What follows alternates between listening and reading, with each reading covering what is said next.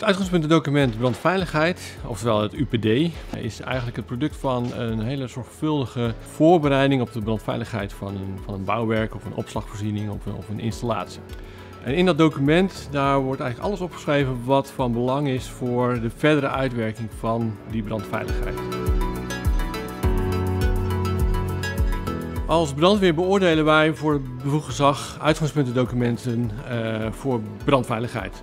En wat wij zien is dat we het in Nederland echt wel goed doen. We hebben echt wel veel experts die heel veel weten over brandveiligheid. Wat we ook zien tegelijkertijd is dat de integraliteit soms ontbreekt van die verschillende documenten.